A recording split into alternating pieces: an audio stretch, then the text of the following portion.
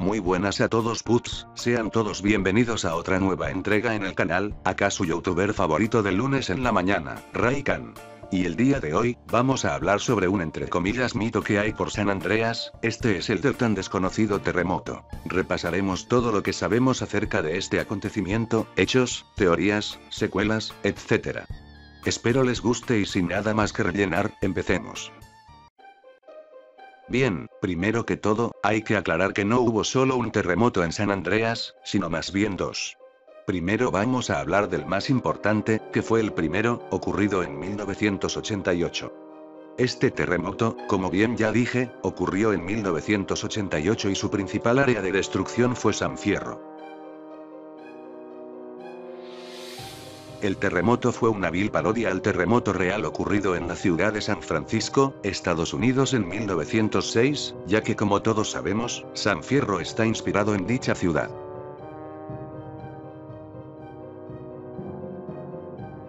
La primera prueba que tenemos de que este terremoto se ocurrió, proviene del mismísimo Rockstar, el cual, en las guías de las ciudades que vienen con la versión física del juego, en el apartado de San Fierro, más específicamente, en el área de Doherty, nos pone lo siguiente, en 1988, el distrito de Doherty quedó devastado por un terremoto que derrumbó varias manzanas.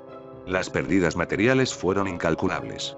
Aunque la mayor parte del plan de reconstrucción ya se ha llevado a cabo, siguen quedando señales visibles que recuerdan los efectos de la catástrofe. Estas señales visibles de las que nos habla Rockstar, están disponibles en el juego y vamos a ir a echarles un ojo ahora mismo. Bien amigos, ahora vamos a...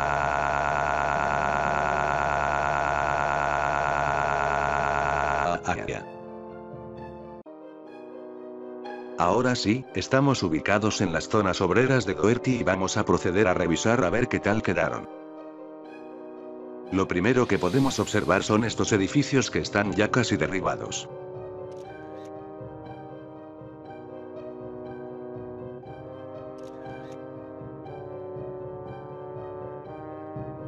Acá hay otro edificio que también está en la mierda. Como podemos observar los edificios están en muy mal estado y deteriorados. Si seguimos explorando por aquí, nos encontraremos con un lanzallamas.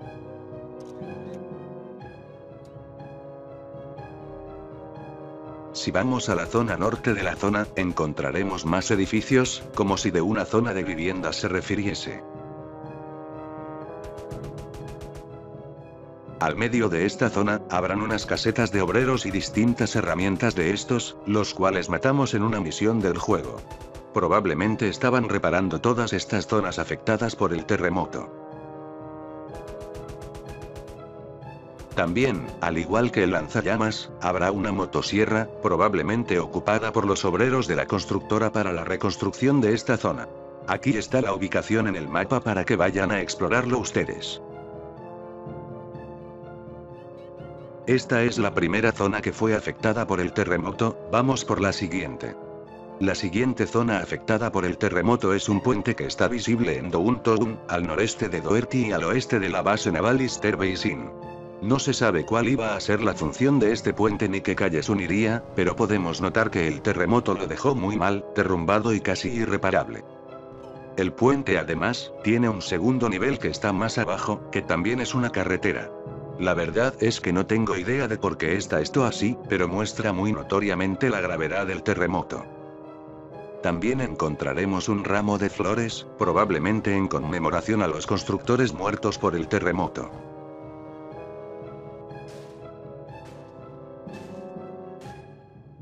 Aquí está la ubicación de este puente en el mapa para que puedan explorarla.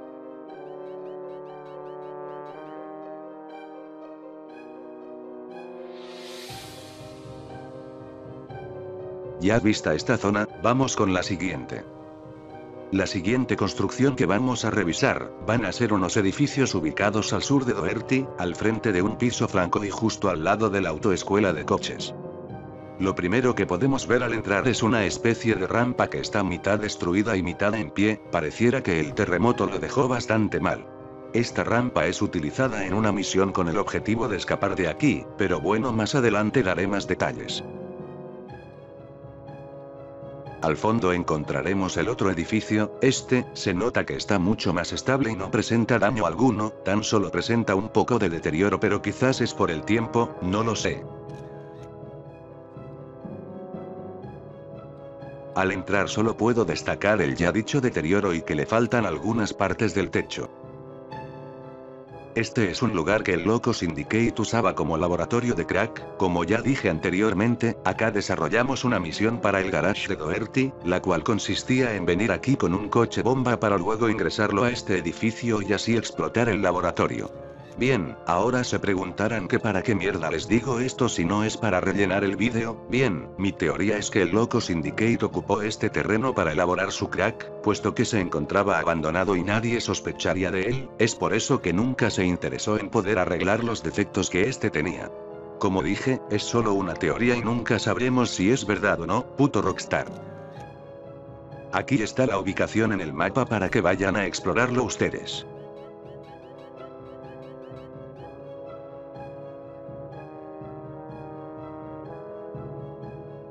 Las siguientes ubicaciones ya son afuera de San Fierro, sin embargo, no disminuyó el impacto del terremoto. Tenemos que seguir los carteles que dicen aldea malvada y salen con una flecha.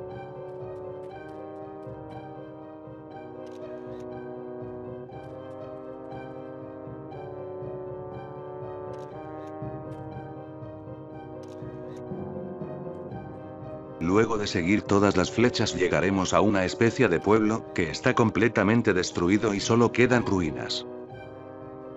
Al parecer el terremoto acabó con todo lo que había en esta aldea, arrasando con más del 90% de los edificios que habían aquí y probablemente se llevó más de una vida. Además encontraremos un lanzacohetes con misiles teledirigidos, probablemente de algún loco que vivía aquí.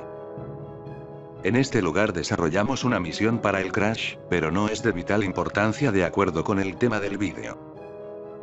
Aquí está la ubicación, véanla y vengan a echarle un ojo.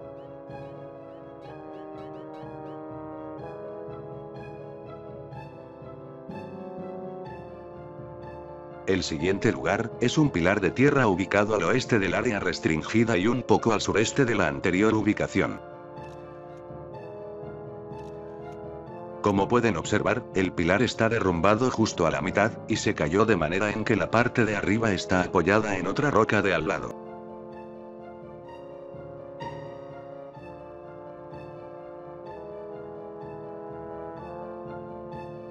Me estoy acercando para poder apreciarla más de cerca. Y como bien dije, la roca quedó apoyada a otra roca de al lado.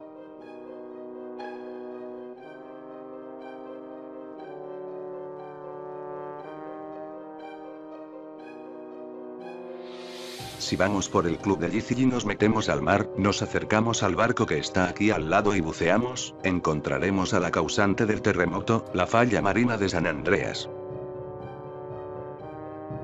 Como pueden ver si es que no son Gusy, estamos ante la falla marina de San Andreas, una clara parodia por parte de Rockstar a la real falla de San Andrés. La falla es bastante profunda y bastante grande, me demoré unos dos minutos en recorrerla de extremo a extremo con oxígeno infinito. Aquí llegué al otro extremo, les dejo la ubicación y aprovecharé de dejar la distancia entre cada punta de la falla.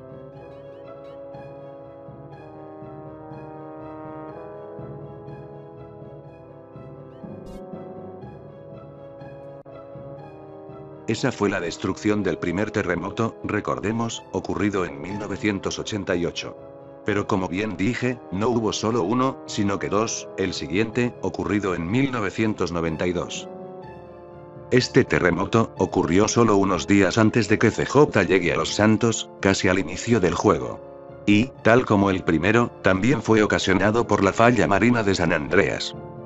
Este, no tuvo tanto impacto como el primero, como veremos a continuación. De hecho, el único impacto que tuvo, fue, que al momento de ocurrir, provocó la inestabilidad de la mayoría de puentes de todo el estado de San Andreas, provocando así que tuviesen que cerrarlos por un tiempo. Siendo primero liberados los de San Fierro y posterior, los que conectan a las Venturas. Obviamente, esto solo fue una excusa de parte de Rockstar para evitarnos ir a otras islas al principio del juego, putos de Rockstar. Igualmente podemos ver reflejado esto en un puente alternativo que es un salto único, ubicado en el pueblo de Palomino Creek, es un puente hecho de madera que está destruido, provocando así que se hayan hecho dos rampas por cada lado. Miren si no cómo está, el terremoto lo dejó así.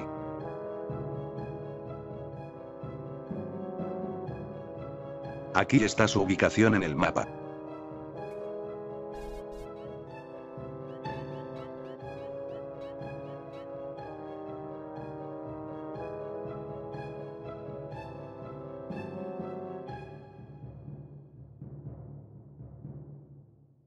Y eso ha sido todo amigos, espero que les haya gustado, déjenme en los comentarios si les gustó, qué opinan, si ya sabían esto o si esta fue la primera vez que supieron sobre este misterio. Como ya les digo, es todo real sin ningún tipo de mod ni nada, compruébenlo ustedes mismos. Me gustó mucho hacer este vídeo y espero que a ustedes verlos. Sin nada más que decir, no olviden darle like si les ha gustado, suscribirse, comentar y darle a la campanita, hasta la próxima pips.